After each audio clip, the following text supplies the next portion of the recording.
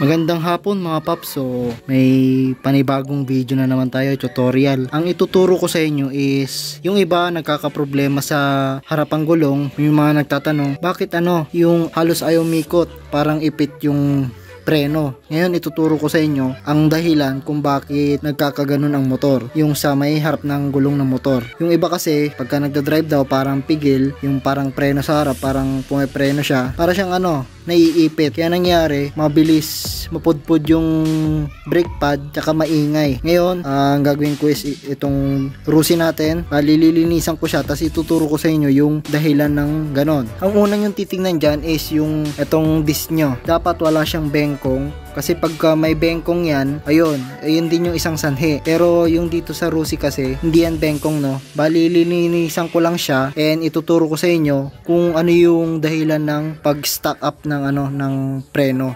So, bali natanggal na natin siya. Ito. Yan, kung mapapansin nyo, marumi na rin siya.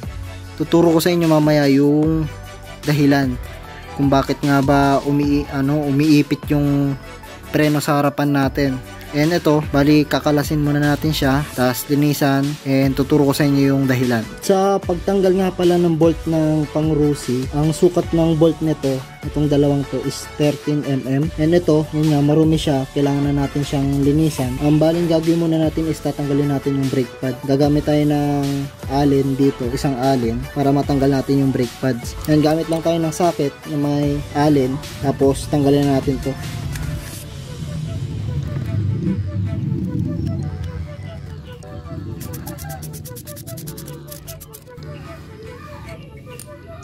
Natanggalan na natin siya. Ito yung rumi na siya. Kailangan natin linisan natin to. Tapos yung brake pads niya, medyo may manip, medyo manipis na pero okay pa naman to kasi hindi ko pa alam yung sukat nito yan kung mapapansin nyo may ano na siya parang ito yung mga hukay na medyo malaki na yung kain kasi madalas ako magpreno eh. Yan. Ayan kung mapapansin nyo, sobrang dumi. Pati yung kamay ko sobrang dumi. Bali, lilinisan din natin to. Tapos, kunin natin yung bakal na nasa loob nito. Sungkitin lang natin. Yan. Tandaan nyo yung pwesto niya para pagka ibabalik nyo, hindi na kayo malito. Yan, kung mapapansin nyo, sobrang dumi din sa loob. Tapos, pwede na natin itong tanggalin tong bracket. Ito na yung nagiging ano, isang sanhi kung bakit nag-stack eh, nag stack up yung preno natin sa harap. Kasi ito, itong bracket, tapos itong caliper mismo, dapat may play yan eh. Para siyang shocks. Yan, papakita ko sa inyo. Yan, pagka nagpipreno tayo, nagpi-play siya. Yan, kung mapapansin nyo, pero pag ang nangyari eh, ginanto nyo at sobrang tigas at hindi na siya nagpi-play, yan, may problema na yan. Ang problema niyan, dito na sa may rubber mismo. Minsan kasi ito lumulobo siya, lumalaki. Kaya nangyayari, hindi na siya nagpi-play. Kung mapapansin nyo, para siyang ano, shock absorber. Yan. Balik ko lang yung bracket. Yan. Dapat nagpi-play talaga yan.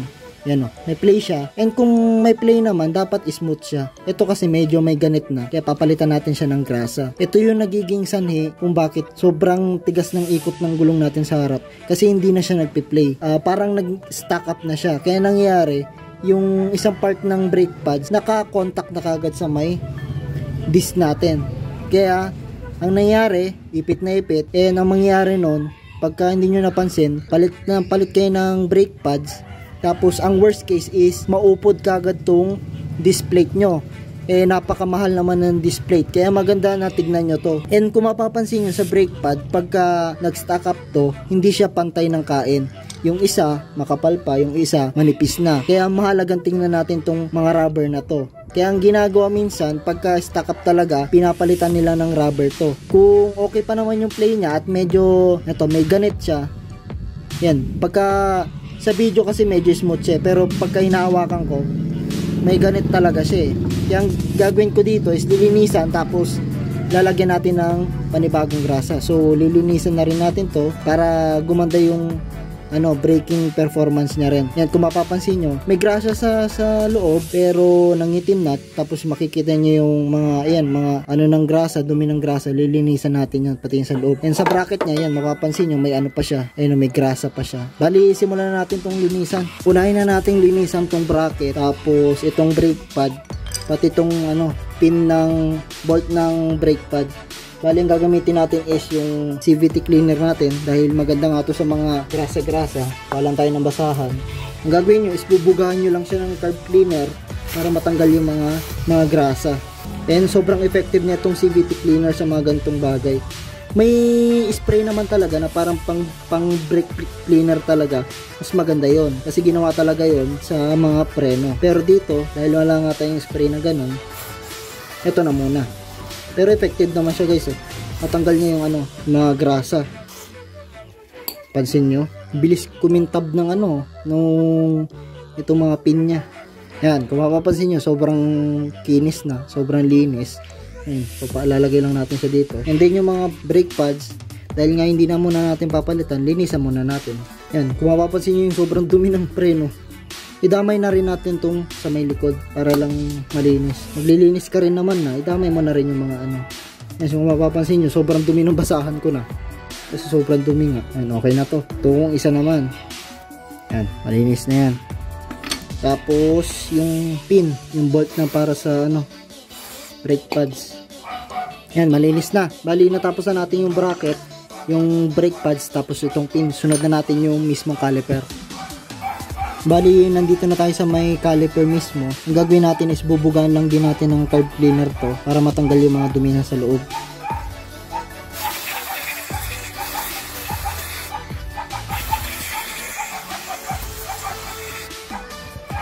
Kung mapapansin nyo, yung tumutulo is yung dumi niya.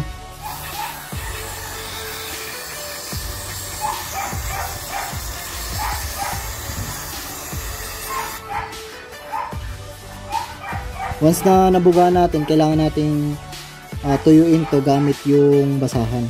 Kunin lang natin basahan.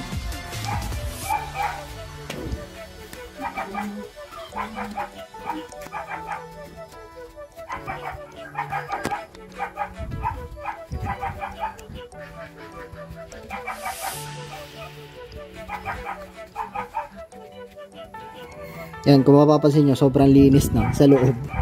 Ang laki ng pinagbago niya. And yung last part natin ng lilinisan is yung importante itong dalawang goma na to. Ito yung rubber. Pagka nagka-problema yung rubber nyo, may nabibili naman to eh ng mga genuine.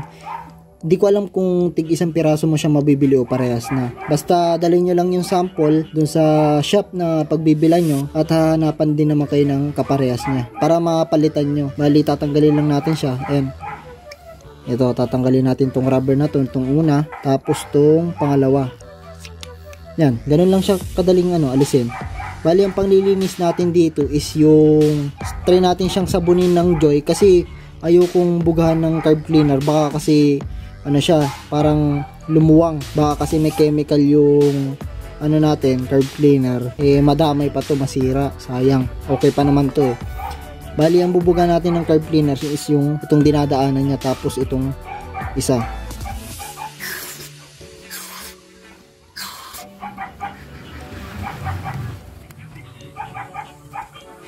Yan, malinis na.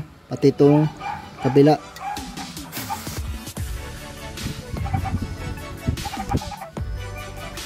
Yan. Malinis na yung paglalagyan ng rubber. And then, linisan na natin yung dalawang rubber. Linisan na natin yung dalawang rubber. Gamit tayo ng dishwashing liquid para matanggal yung grasa niya sa loob.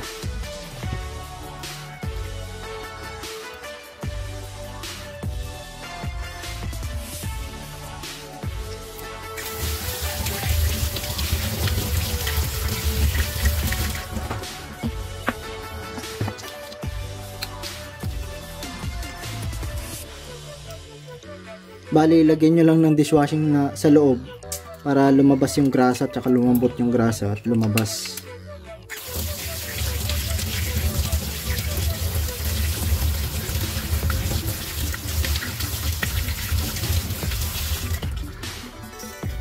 Yan, bali malinis na siya. And pwede na natin siyang ikabit. Bali, bago nyo ikabit, syempre, patuyuin nyo muna. Pwede kayong gumamit ng cotton buds para matuyo sa loob. Bali, natuyo na yung mga rubber natin. Pwede na natin siyang ibalik. Ang pagbalik nito, ganun lang. Kailangan nyo siyang isiksik.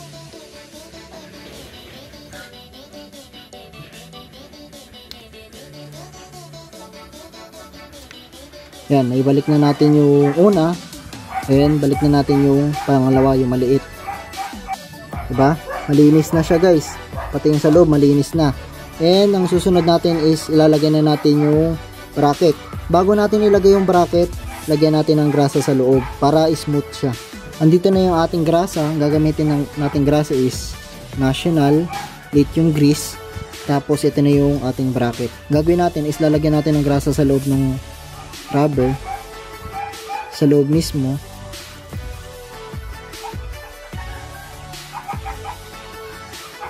Once nalalagyan natin yung sa loob, uh, lipstickan lang natin yung ano, itong dalawang pin na papasukan dun, na mapapasukan yung rubber. Para smooth lang siya. Yan once na okay na, pwede natin natin siyang ibalik. Ang pagbalik, same process lang din. Kung pinagtanggal nyo sa kanya. Pag may lumalabas na grasa, ulit-ulitin nyo lang.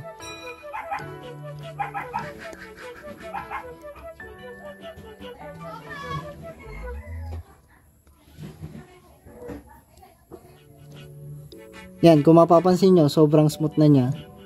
Yan. Yan ang gusto natin, yung smooth. Pagka lumalabas yung konting grasa, punasan nyo na lang. Tsaka dagdagan nyo na lang sa loob. Yan. Bali, lumabas kasi ibang grasa, dagdagan natin ng konti. Tapos balik natin yung bracket. Yan, kung mapapansin nyo, sobrang smooth niya na. Diba? Yan ang gusto natin na ganitong ka-smooth. Yung mga lumalagpas, linisan nyo na lang.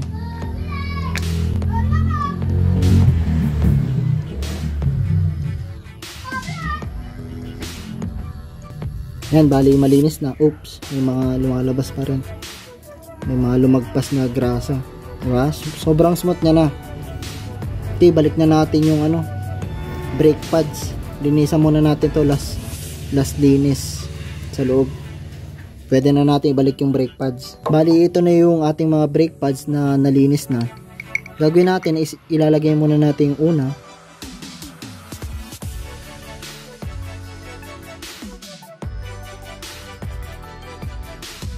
Tapos yung pangalawa. Yung pangalawa may sungay ito eh. Isusuksok nyo lang siya dito sa may bakal na to. Ayan, once na naisuksok nyo na, pwede, pwede nyo nang ilagay yung itong bolt niya. Gagawin nyo lang, isasakto nyo lang siya sa butas. Pwede na natin higpitan tong ano, bolt.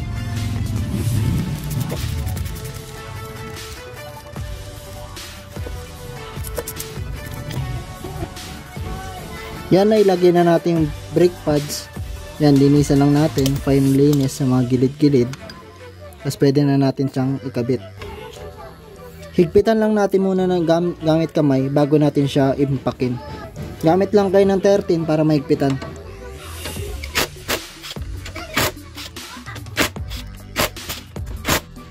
Yan, goods to go na to. Pwede na natin siyang i-testing.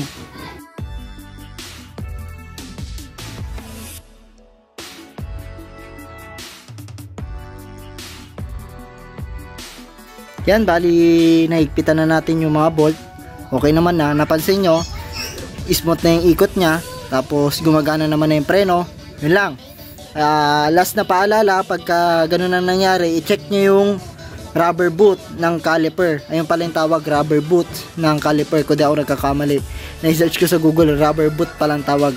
So, pagka yun ang sira, ayaw mag-play ng caliper nyo, i-check nyo yung rubber na yon paalala ko lang ulit. And check nyo rin yung brake pads nyo tas yung display yun lang ang titingnan nyo pagka yung gulong nyo eh, ano maganit yung ikot nya tas maingay. I double check nyo yung mga yon so yun lang po sa ating video ngayon. Naway natutunan nyo po no? Simpleng tutorial lang po pero napakalaking bagay sa mga rider na mga ganito. Kasi pwedeng pagsimulan ng ano yan ng disgrasya minsan. Kasi yung yung preno, importante yan. Bali, maganda na mini-maintain yan, nililinis. Yun. Bali, yun lang po. Humaba na po ang ating explanation. Maraming salamat po sa panonood. And pag nagustuhan nyo po itong tutorial na to, na marumay ko kamay ko. Pagka nagustuhan nyo, i-like nyo po, comment po kayo, and share nyo po. And pagka hindi pa po kayo nakapagka-subscribe sa ating channel, and subscribe na po, and click the notification bell ba yun? Para ma-update kayo pagka nag-upload ako ng bagong tutorial or anything na rides na anything within within our content. So, yun lang po. Maraming salamat po, ulit sa panonood and kita-kits po sa next vid. Bye! Peace!